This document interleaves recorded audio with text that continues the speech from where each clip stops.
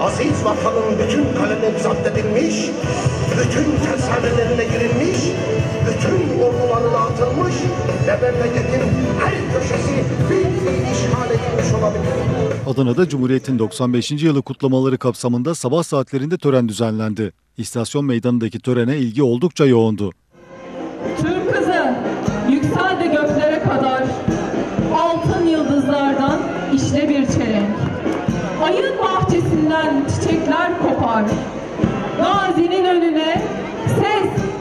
ışık ve renk.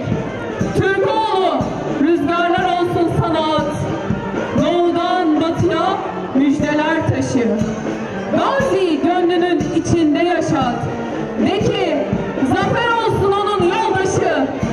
Kutlamaların yapıldığı istasyon meydanındaki törene Adana Valisi Mahmut Demirtaş, 6. Mekanize Piyade Tümen Komutanı Tümgeneral Hakan Atınç, Büyükşehir Belediye Başkanı Hüseyin Sözlü, Cumhuriyet Halk Partisi milletvekilleri Ayhan Barut, Müzeyyen Şevkin, Orhan Sümer, kent protokolü, askeri erkan ve çok sayıda vatandaş katıldı.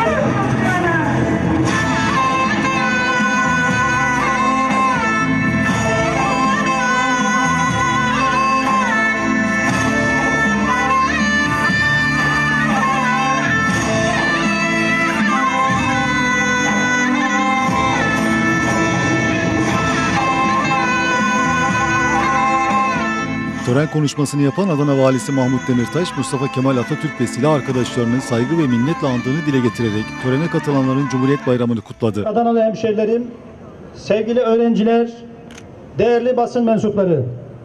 Türkiye Cumhuriyeti'nin kuruluşunun 95. yıl dönümünü büyük bir coşku ve kıvançla kutladığımız bugün de sizleri sevgiyle ve saygıyla selamlıyorum.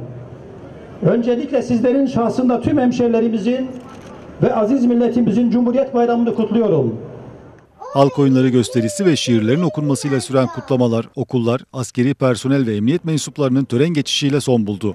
Atatürk diyor ki, ordumuz Türk birliğinin, Türk kudret ve kabiliyetinin, Türk vatanseverliğinin çelikleşmiş ifadesidir.